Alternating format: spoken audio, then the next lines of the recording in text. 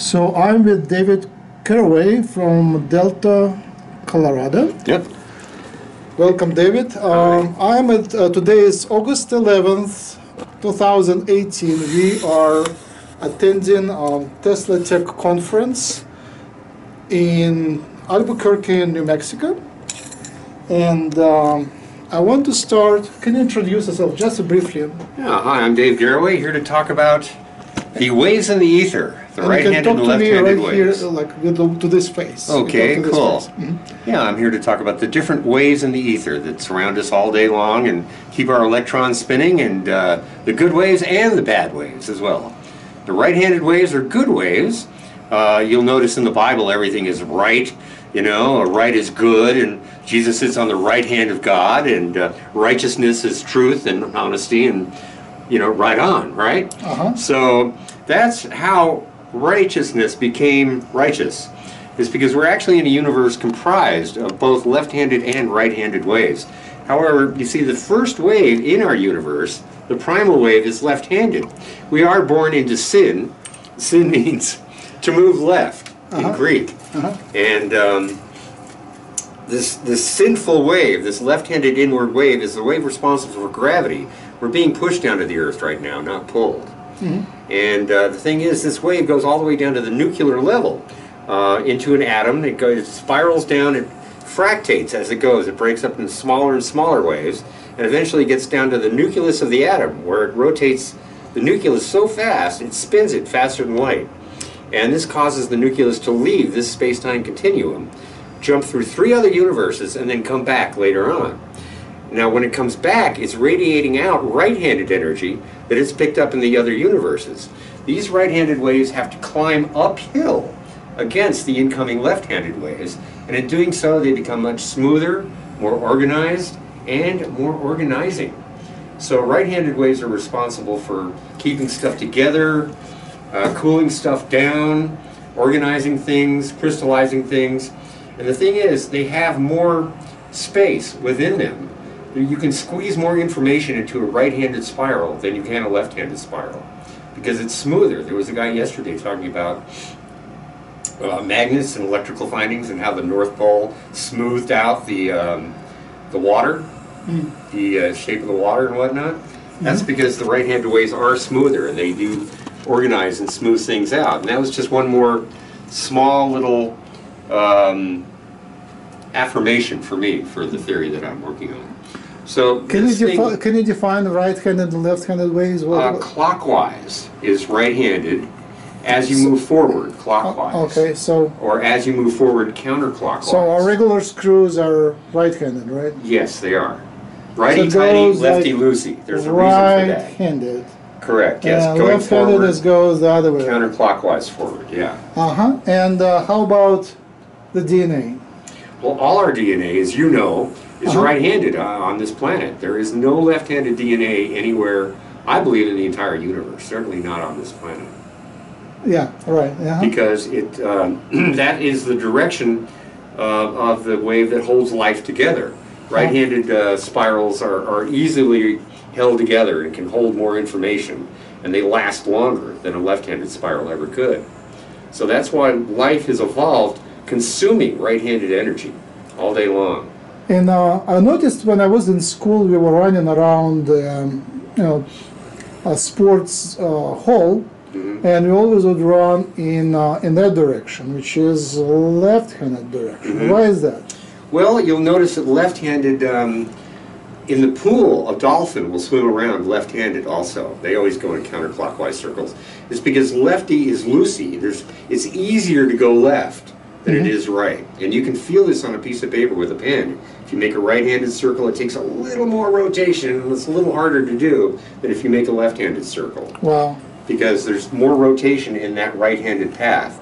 So it's easier to go left than it is right, just a little bit. But it's it's the dark side of uh, All right. nature. It's the All, evil all, side. all is good. Just one minute to, Okay. to, to the light. To the The light. light, okay. So your light is. I just noticed that you're not lit up. Okay. We continue. And um, I have this coil here, Uh-huh. which is designed to catch both the right-handed and the left-handed waves in the ether. Uh-huh. As I mentioned, the first wave is left-handed in, it goes down to the nucleus, pushes the nucleus out. But when the nucleus of all the atoms in the room come back, they're radiating out right-handed energy. And this right-handed out energy spirals out, it bounces around the room, and it turns into right-handed in energy, which then goes back to the nucleus of the atom, or another atom, Okay. and it bounces around, and then pretty soon there's left-handed out energy coming in. So there's four ways altogether: mm-hmm. left in, right out, right in, and left out. Mm-hmm. Now this catches all four ways. Excuse me. It's important though to note that this starts always with a right-handed twist. Now these figure eights obey the phi spiral. So the first thing that happens is the electron comes down and it hits the first right-handed loop and the right-handed waves will push the electron in this right-handed loop around because this loop is based on the um, curvature of the phi spiral. So the first section is an inward section of the spiral, mm-hmm. and the next section of this leaf is an outward section. Mm-hmm. So you have right in, and then the electron jumps to the right out wave. And then on the other side you have left in, and then it jumps to the left out wave. Mm-hmm. And this happens three times. Uh, there are 12 waves, so you want to catch each one of them. And so the electron's not only going around and around and constantly changing direction, which means it's under constant acceleration as long as it's constantly changing direction, mm-hmm. but it's going in and out. It gets pulled in and then it gets left out in this rotation. Each level is in, in, in, and then mm-hmm. out, out, out. So that's another compounding of accelerations. That's what this coil is Let me based follow it. Let me follow it. So it goes. Which which is the start? Uh, this is the start here. It goes here. Uh, Then it goes here. Okay, I will reproduce my hand movement. Like, then it goes. I assume it goes here, there, here, there, here, there, here, there, here, there. All right. At the bottom, it goes, yeah, it goes right, left, right, left, right, left, left, right, left, right, left, right. Oh, it now comes back. Yeah, it comes back, but it, it does two lefts on the bottom. It Oh, goes so it doesn't left. go like that. So it goes first is a eight, and then goes to the next level eight, and then next level eight, Correct. and then goes Then it takes a 90 degree turn. and then goes eight that, and okay. So that's the magic trick. Eight down, eight down, eight down. Then left, right, Nine, nine degrees turns. right, Left, up, right, left, right, left, right, left, right. Correct, you and, got it. And what is the meaning of that? Well, you'll notice that the first three eighths are bent downwards. And this is so they can catch the incoming Downwards. vibrations, correct? Mm-hmm. They're mm-hmm. bent, you know, this is a 72 degree angle here between the two figures, Okay, eighths here. okay. So the first three eighths are bent down 72 degrees. The last three eighths, which are 90 degrees out of phase, are bent up three, um, three, you know, I mean 72 degrees upward. This is to catch the waves coming out of the ground. And um, so I've noticed that when this coil is suspended above a jar of lentils, um, that the lentils will sprout sooner and thicker and beefier than a control group set on the kitchen table just a few feet away. And uh, I've noticed, you know, you put water under here, it'll jive up the water. You can drink the water and you can feel the energy in it. Because this, it attracts the ether and it focuses it as it's utilizing it to push around electrons. And uh, I have a lot more experiments to do with this. I believe it can be used not only to promote plant growth, but also to heal.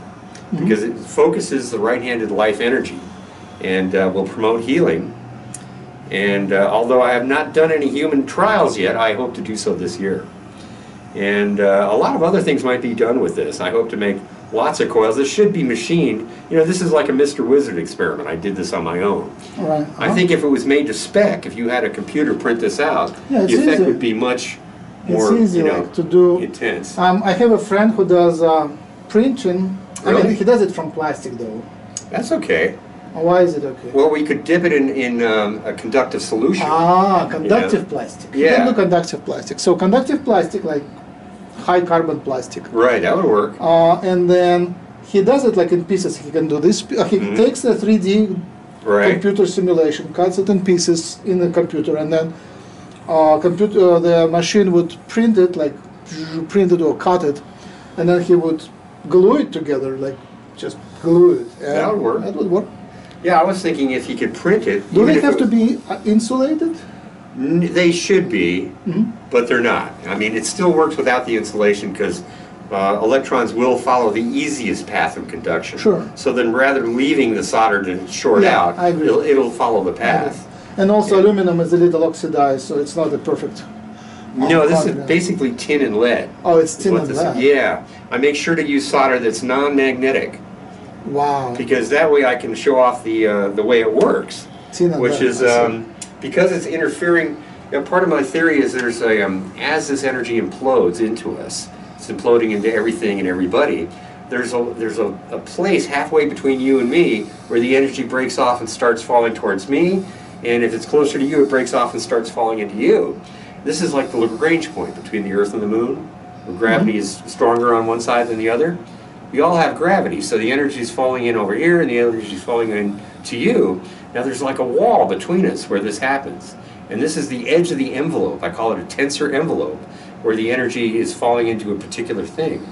Now this, because it interferes with the, the waves, will pick up the edge of the envelope, and it'll react to the imbalance of energy as, as like right in the middle between us. It'll go one way or the other. So the way I like to demonstrate this is to hold it near stuff that's non-magnetic, like wood, for instance. So what you do is you dangle it near things, and it's a subtle effect. I want you to do it yourself so you'll feel it.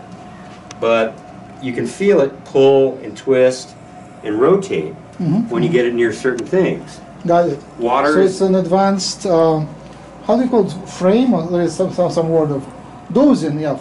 F- Dowsing it- device. It is an advanced dowsing device. Dowsing device. Yeah, it really is. Let's move back to the Like light. like here, Mhm. I can feel something under the floor, oh, wow. um, and I just want to check it out. I haven't really run around this room yet. Um, it reacts really well between two pieces of wood, for instance, like that. I Uh-huh, can uh-huh, feel. Uh, I don't want to photograph the, the rest of the room. Okay, well, let me, let me just take a second here. All right. It uh, also goes well over water too. I should bring out a jug of water. Oh, wow. On the water? But uh, huh? On the water? Above the water? Yeah, In it'll, the it'll water. detect the presence of the water there. So Oh, wow. uh, let me let me grab a jug of water here. All right. See it kind of swirling around here. But I notice it best over the floor because there's all kinds of pipes and stuff. Mm-hmm, mm-hmm. And I showed it to a guy yesterday that could feel it very much between his legs too. It'll Uh-huh. pick up it'll pick up your own field. Interesting. And um, I never really tried that, but uh, yeah, it works great between your legs too. So um, give it a shot. All right. Well, oh, it's pretty light. I thought it would be Yeah, yeah. You want me to hold this? Um, no, I will hold it because um, Okay. because I want to make sure it's it's filming what I'm doing. So All right. So this is the control. We're moving it around here. No water here. And uh, do I need to get into a special state or not?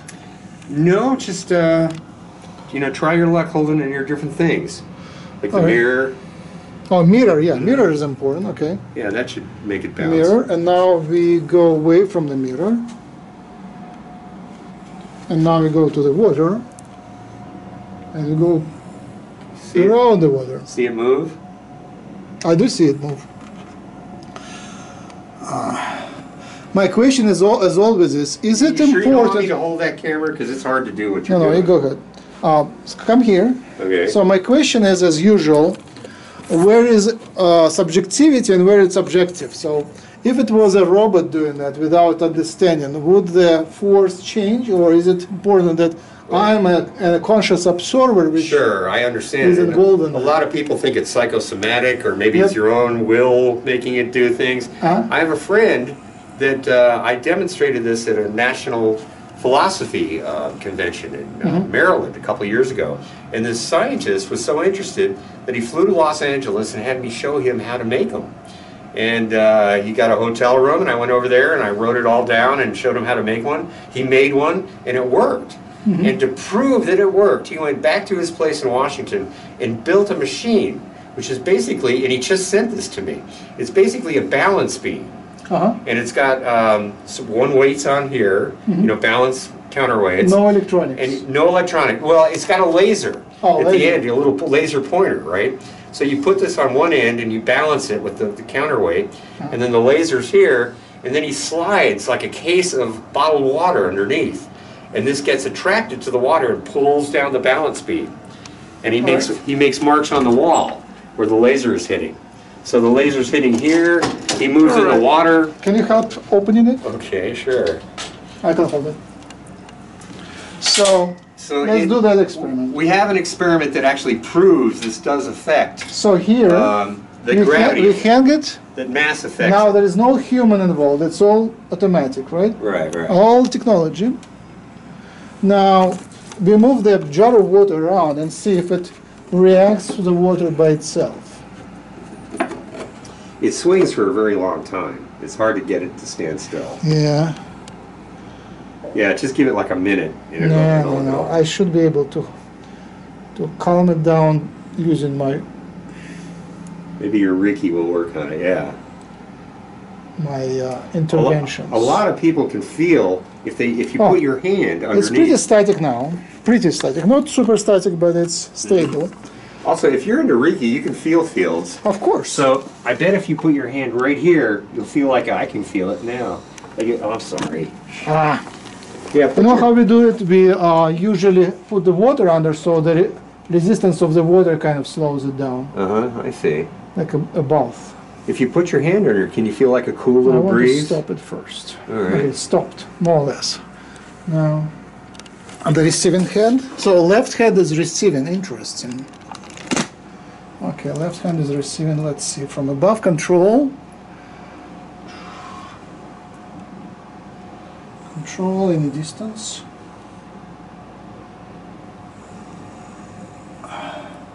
So I feel the energy here. Let me see if I feel it.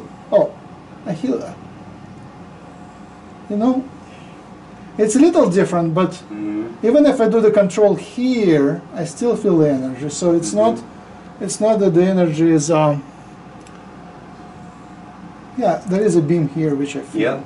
Like, a, like it's kind of warped Uh huh. and goes side, sideways it going a little sideways? That's because my coil is kind of. it's not really well made. All right. But let's see if the if the water makes any difference. Oh, you're thinking it would start oscillating? Yeah, it should a little. I was thinking, can you hold it? Sure. Hold it here. So you see it's aimed properly. Okay. So now suppose I move water in a circle.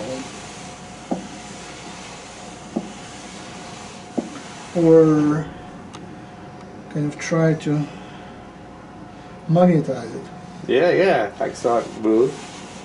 I would say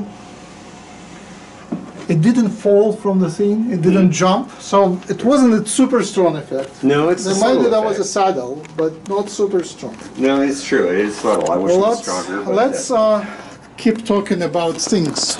Do you have anything else to, to show? You wanted to show something else, no? Uh, not really. I mean, I've got um, Okay. Other stuff on my video that All I, right, have, I right, have a. PDF and it shows it on the screen and it's real Let, nice. let me then ask my usual question. So, first question: we are, we are thinking that DNA, a right-handed double helix, Mhm. double helix, like goes like that, double. Mhm. Uh, that it it is uh, a transdimensional converter. Mhm. It takes chemical energy from us and electrical thoughts and stuff like that, converts it transdimensionally into you know some other dimension to the spirit dimension or Mhm. ether dimension or etheric body dimension and then brings back the information and the information is of multiple kinds that for the brain it's uh, mind information Okay, for the heart it would be heart mind information, and for the cells and health it would be like health information. So, Mm. So we think DNA is the the key transformer, transmitter, transdimensional transmitter in the body. Hmm. And you seem to be uh, very interested in the ether side. So, can you speculate on the mechanisms? Well, I kind of believe that aging is caused by the unraveling of the DNA. Uh huh. And, and if you Unwrapping, use right unwrapping. unwrapping, yeah. Uh-huh. If you use the energy that this coil can harness and build coils particularly geared for grabbing the right-handed waves and focusing them, Mm-hmm. and you bombard the DNA with right-handed waves, it makes sense that if you can resonate with the shape and spiral the correct frequencies of the DNA, you will serve to wrap it up again. So you could probably reverse aging with right-handed spiral torsion fields, I believe. Can you define torsion fields? Well, they, they- you know, those are the waves that I was talking about. There's 12 different waves in this room Got right it. now, and I call them all torsion fields. Okay. So anything that, that provides a twist, you know, in the ether, the actual twisting of the ether is a torsion field. Super. Um, in Reiki, uh, actually, it might more- maybe more in Qigong, uh, there is a movement, circular, right-handed movement, and we create the vortex incoming energy if it, the patient is down below. Then we bring the energy in, but before we bring the energy in, we first want to take the negative energy out, so we take it out by left-handed movement. Huh, cool. So we imagine the work that comes out, unscrews from the, uh, like we remove the pain this way. The pain and uh, blockages, we remove it like with a A left-handed pull it out, huh? left-handed Out. movement. wait, Yeah, out, Left-handed out, up and out. out. Out the spiral, the helix going out, and then we bring back the good energy and put the healing in. That's uh, I know a guy that does that uh, himself on his uh, minerals. He makes sea minerals, Uh-huh. and he puts the bottle inside of a left-handed wound um, tubing. You know, it's water tubing, right? So it's got many, many left-handed uh, windings to it, and um, and he turns it on, and this energizes his his um, his sea mineral mix, right? And at first I was confused. I thought, you know, I used to be all right-handed energy is the only way to go, right? Mm-hmm. You know, left is evil. Let's avoid that. That's bad mm-hmm, for you. Mm-hmm, but I realized that what he's doing is he's pulling out the left-handed energy from the sea mineral mix and allowing the natural right-handed energy of the ether to replace it and flow into it. So left-handed energy does have its uses. It's not completely bad or evil. It's just very tricky. It's hard to handle. I've had uh, industrial accidents using it. Oh, really? yeah, you know, I've had things. them. Well, I've had things like almost blow up. Um, these tensor coils, you can't put these near compressed gas. You got to keep them away from compressed gas. And they, and left-handed energy attracts heat. So if you're messing around with left-handed energy and left-handed spirals and stuff, keep it away from compressed gas and, and uh, anything that's flammable.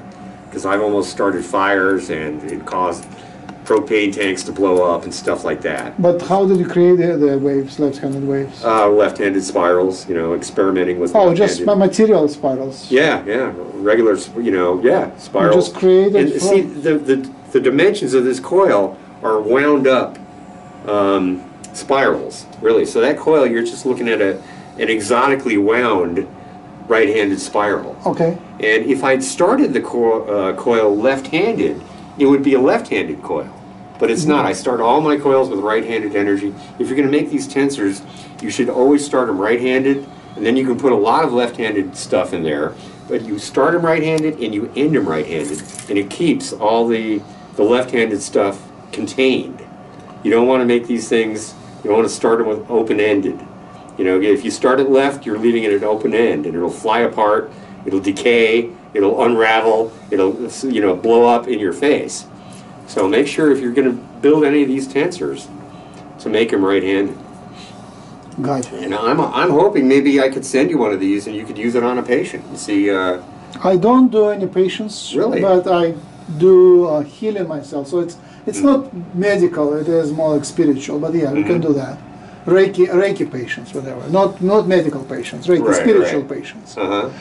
Uh, we don't treat disease. We treat spiritual problems. Hmm. All right. Anyway, uh, let me see.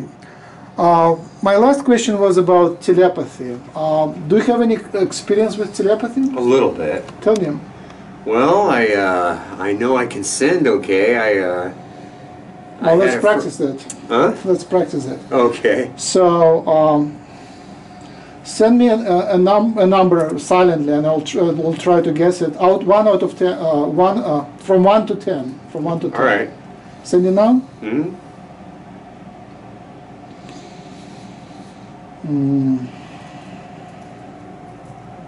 Six. What was that? Eight. All right, let's start again. Okay.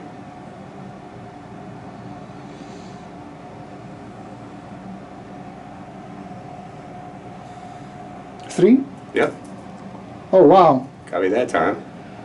50% success rate. Yeah, Let's so stop at people, maybe we can go, but I mean, we get, we get you know, on, on camera, we don't want too much. Anyway, uh, I had a now me, mind me sending now, let me see, I have to choose one first. Okay.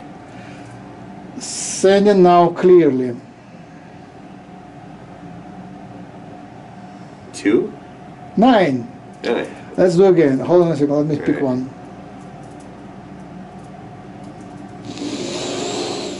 Hmm. Sending now clearly. Five? One. Ah. All right. Altogether, we have 25% success rate, maybe plus plus or minus. Oh well. Anyway, uh, tell me more. I just had this friend. We were on a trip, and I was going to go. We were in Santa Cruz, and I was going to go look up a buddy of mine who was going to college there. And I tried to track him down, and I found out his mother had just died, so I couldn't see him. He was busy. Mm-hmm. And I went back to where my friend was, and uh, I walked up to him, and I go, "Well, I can't see Danny today." And he said, "Yeah, I know. His mother died." And I go, "How did you know?" And he goes, "You told me." And I go, "No, I didn't." And I didn't. I hadn't told him a thing. He goes, "Oh, well, I don't know how I knew." Mm-hmm, mm-hmm. So that was pretty weird. That was the one psychic experience I had. All right. Uh, we I'm, I'm approaching the idea to build um, a device or a helmet or couple helmets or whatever, hmm which would able be able to help people to connect telepathically to each other, and it would be like normal people, like mainstream, out of the street people without any spiritual experience or preparation. hmm So the, the idea that you know you should be able to take random people and connect them. Uh, do you have any ideas how to do that? Any suggestions? Well, actually, I've been wanting for a while to make a hat with these three figure eights embedded in the hat.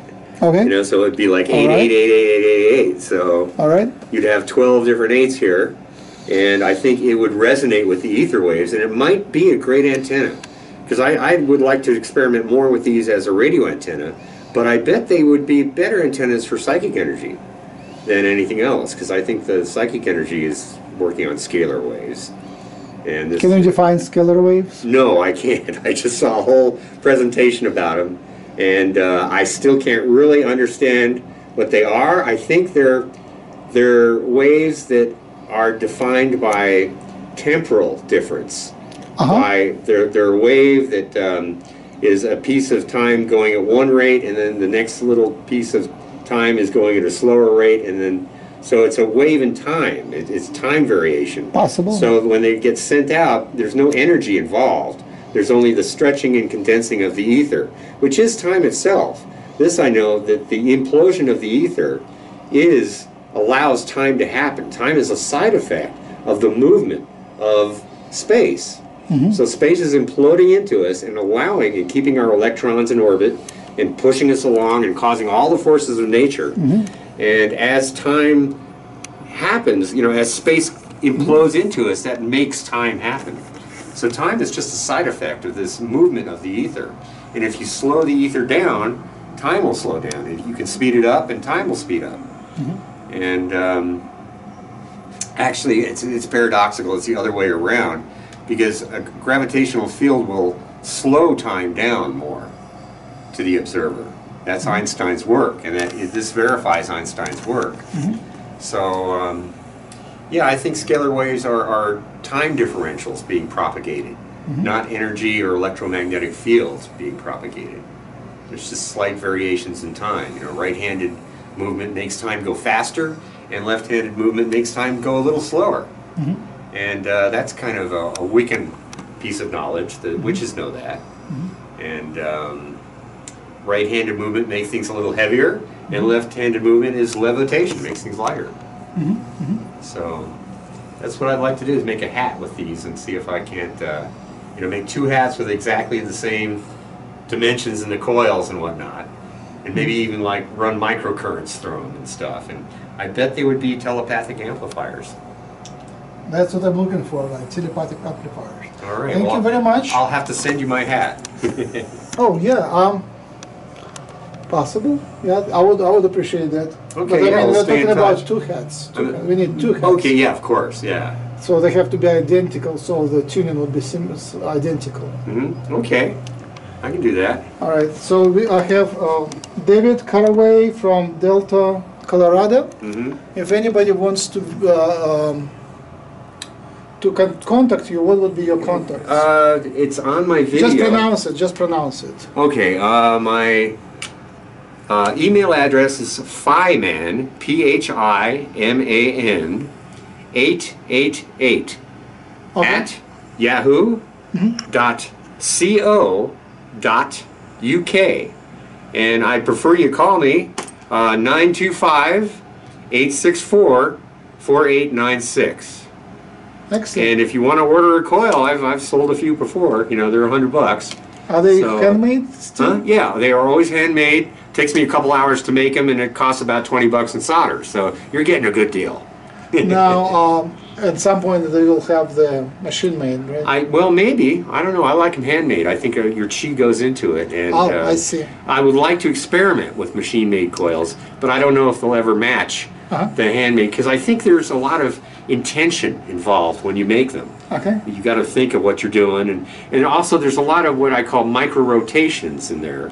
I haven't gone into the part. You'll see in my video that there are um, um, places in the spiral where energy bun- bunches up. Have you ever taken a shower and looked down and see the water going down the drain in a spiral? course, and you'll yes, see uh-huh. little spokes radiating out, standing waves. There's spokes radiating out, and you can even splash the drain, and it'll disrupt all the spokes, but they'll come back in the same place. Right, uh-huh. right? Those are where the water accelerates, and then it goes too fast and gets ahead of itself and bunches up, Mm-hmm. and then slows down, and then reaccelerates and goes faster and punches. So I figured out how to figure out where those bumps in the road are.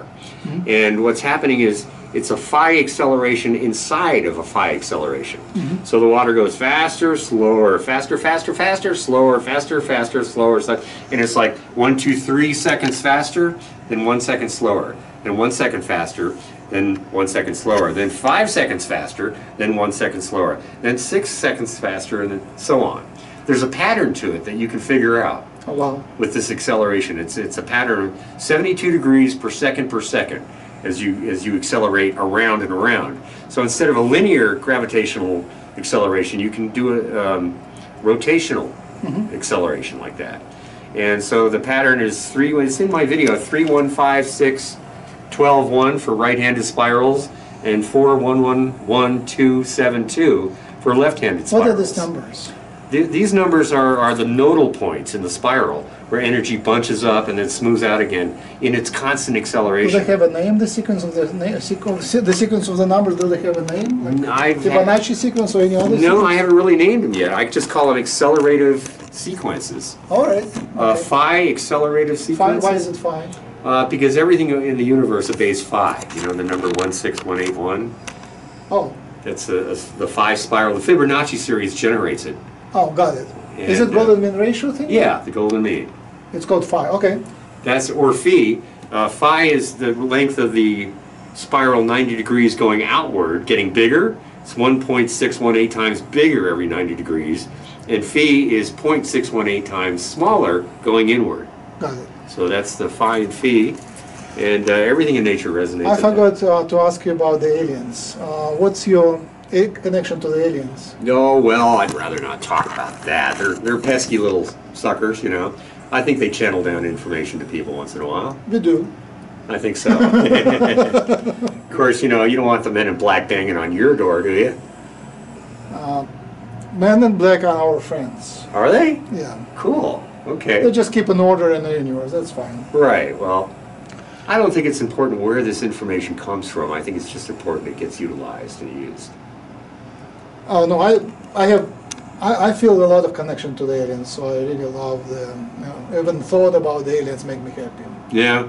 I think they're pretty cool too. Yeah. I think they've been around a long time and they, they've been channeling information to us for quite a while. And I, I bet like almost every other person on this conference is like pure alien, and every other just you know, Talks to him, right? uh, uh, yeah, every other one it would be like just unaware. Well, that lady yesterday with Trifinity, did you see her disclosure?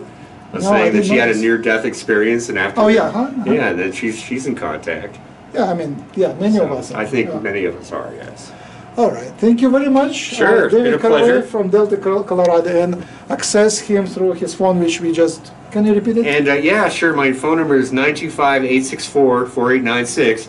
And if you'd like to see the 2011 presentation of what I've just been talking about, it's much better than this Uh, because it has you know PDFs and graphs and all kinds of fun stuff and demonstrations and whatnot. You can find it on YouTube under you go to YouTube and you type in implosive vortex mechanics or my name, which is Dave Garroway, G A R R O W A Y, Jr. Make sure to put it in the junior to get my dad, he was on TV. Or you can watch the presentation I did last summer here. Uh, it's in four parts. It's a two hour workshop. One of the parts is messed up. I'm going to have to reload it. Uh, it should happen next month. But anyway, you can find that under Tensor Coil Workshop, where I go into real detail about how to make these coils and these fractal patterns that I instill in them as I make the figure eight. I'm bending the, the solder in these patterns. So I make it like one, two, three, a little further, one, Got one, you know, like right, right, right, left, right, one, two, three, four, five, left, one, two, three, four, five, six, right, one, two, three, four, five, six, seven, eight, nine, ten, eleven, twelve, left, and then one right, and then, and then you repeat the pattern over and over again. Uh-huh. So you have one pattern for the right-handed loop, one for the left, and um, that's what really helps attract the energy because you're resonating with the spokes in the spiral of the ether as it implodes. Wow. Uh, what did your do, dad do? Why, why, why, was he on television? He got me interested in science. He was the first host of the Today Show. First, what? Host of Host? the Today Show, yeah. Today Show. Yeah. Wow. Early Yay. morning show. Yeah, he had a great time. Um, and what, where, how do you learn your stuff? What's the, your, your way of learning stuff? Oh, I just I'm a good listener. I just close my eyes and let the universe. Actually, the universe poses questions to me. It says like, well, and then it's the Aristotelian method of teaching. It's like, well, what do you think? Would it be A or B, and why would it be A, and why would it be B? Uh-huh. And then I have to figure out, well, it wouldn't be A because that would rise and that would fall, and that wouldn't work. Uh-huh. So it must be B. You know, and then I go on from there. So it's really I get a series of questions coming to me, and I Uh, kind of have to figure your, stuff what out. What was your profession in the early days? I'm a salesman. A salesman? yes, I am. What do you sell? I also am a DJ, and I've done some drumming and stuff. I've sold everything: Oh, really? office supplies, computers, water beds, light bulbs, condoms, candy, all kinds of stuff on the phone and in real life. Oh, gosh. So. I get around, but I'm kind of retired now. I just want to work on this stuff. Excellent. Thank you very much. Have Sure. a good day. Good day, everybody. Thank you.